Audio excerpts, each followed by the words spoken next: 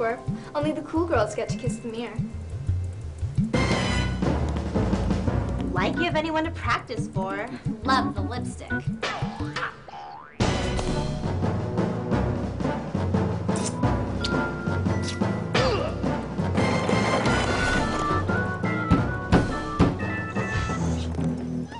Girls, I keep telling you not to leave kissy marks on the mirrors.